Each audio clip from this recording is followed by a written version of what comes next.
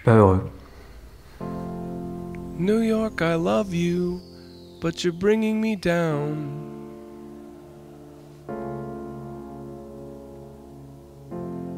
New York, I love you. Je suis pas heureux et ça fait déjà plusieurs semaines que ça dure. C'est con, mais quand ça va pas, on on n'ose jamais l'accepter. On se dit toujours que c'est passager, que ça va pas durer. On se dit même que c'est pas grave. Parce qu'on se dit qu'on peut pas être triste. Parce que objectivement, tout va bien. Et c'est vrai, tout va bien. Pourtant, je suis pas heureux. Je sais pas ce que j'ai, je sais pas combien de temps ça va durer, je sais depuis combien de temps ça dure. New York, évidemment.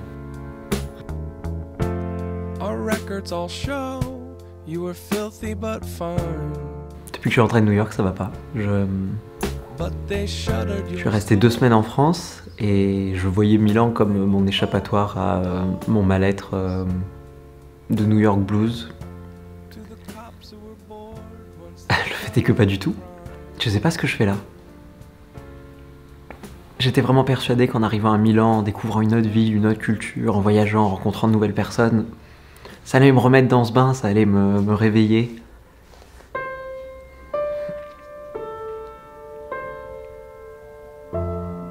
Du tout.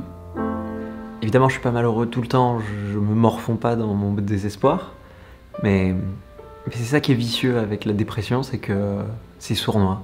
C'est pas qu'on n'est jamais heureux ou c'est pas qu'on s'amuse plus. C'est qu'il y a cette tristesse sous-jacente à chaque instant. Depuis que je suis rentré, je me demande qu'une chose. Je me demande si j'ai pas vécu le climax de ma vie.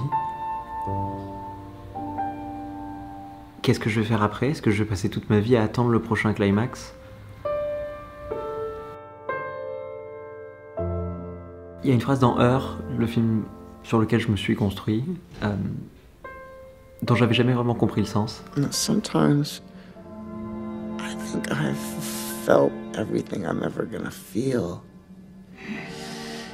And from here on out, I'm not gonna feel anything new. Just lesser versions of what I've already felt. Et maintenant, c'est celle que je ressens le plus. J'ai l'impression que plus rien n'a de saveur, que je tourne en rond tout le temps, que je suis juste là en train d'errer dans la ville, dans ma chambre, dans ma vie. Je m'ennuie, j'ai plus de but. Je sais pas ce que je fais là, je sais pas où je vais. Je pensais que ça passerait, et je- je suppose que ça va passer. Le truc, c'est que ça fait déjà six semaines. Ça fait. Ça va bientôt faire sept. Ça va faire sept semaines que je suis pas heureux. Ça m'arrive parfois de d'arrêter ce que je suis en train de faire et de pleurer. Parce que c'est tout ce dont j'ai envie à ce moment-là. Je me sens pas à ma place. Je sais que je suis pas à ma place.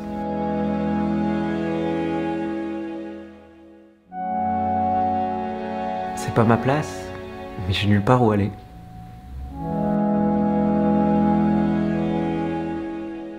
Je crois qu'en fait le seul moment où j'ai accepté de quitter New York, c'était quand j'étais encore à New York, avant de partir. Et quand j'ai démarré cette série de vidéos, j'ai toujours voulu être honnête et, partager mes sentiments et je l'ai toujours fait. J'avais prévu de faire une vidéo à New York, enfin, au cas où je me sentais triste. Euh, juste pour expliquer ce que ça faisait d'être triste alors qu'on vivait son rêve et qu'on était loin et... Pour tout vous dire, c'est jamais arrivé. Je crois que sur mes 5 mois, j'ai eu euh, 3 fois 30 minutes de petite déprime. Probablement parce que j'avais pas dormi. Depuis que je suis rentré, je suis déprimé tout le temps. Et j'ai beau faire tous les efforts du monde, pour l'instant ça passe pas. On dit souvent que hum, faut pre- reprendre sa vie en main, euh, il faut créer des habitudes, euh, il faut faire du sport régulièrement. Je me bats, j'abandonne pas, je me bats aussi fort que je peux. Je fais du sport tous les jours, euh, je mange équilibré. J'essaie de rencontrer des nouvelles personnes, mais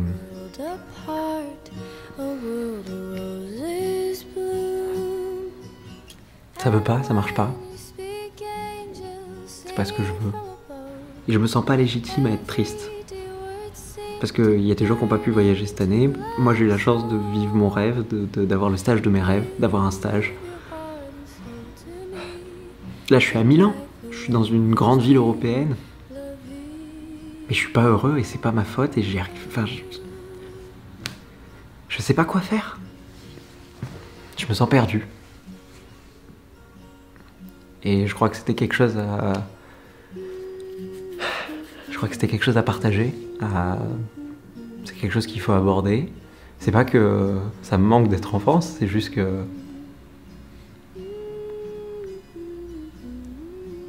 Je pense pas que. Je pense pas non plus que Milan soit une mauvaise ville, c'est pas la faute de Milan, c'est c'est ma faute à moi.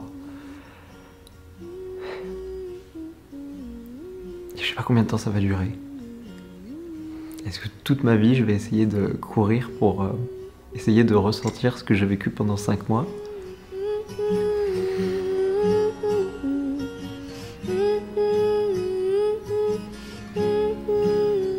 Je vais pas bien. Je vais pas bien depuis 6 semaines. Je sais que je suis plus à New York, mais.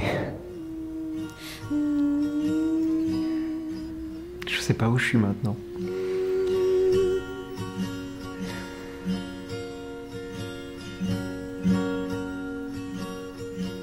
Plus de deux semaines que je voulais faire cette vidéo et euh, je me disais, faut attendre encore un peu.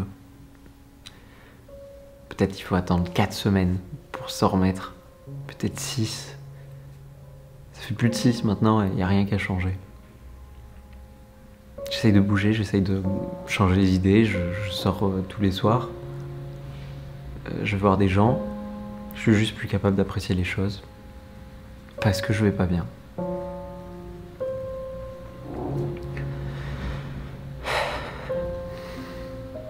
Je pense que c'est important d'être honnête et de le dire. Peut-être que certains vont trouver que ma tristesse n'est pas légitime parce que j'ai eu tout ce que je voulais, et c'est vrai. Peut-être que ça fait partie de la réalisation d'un rêve aussi. Parce que pendant 5 mois j'ai vécu un rêve éveillé et, et là maintenant je me réveille dans une banalité déprimante qui est pas du tout banale. Mais c'est comme ça que je le ressens. M'arrive encore de rêver et je me revois dans l'avion euh, en rentrant en France. Je reste une journée, je vois ma famille, mes chiens et, et le lendemain matin je leur dis je repars et je reprends l'avion pour New York. Ça fait six semaines que je me bats et je vais continuer à me battre et j'espère que ça va passer, j'espère que je vais retrouver mon envie de vivre, mon envie de profiter des choses. Je sais pas s'il y aura une suite à cette vidéo. Mais je voulais être honnête et je voulais la faire. Et je suis content de l'avoir fait.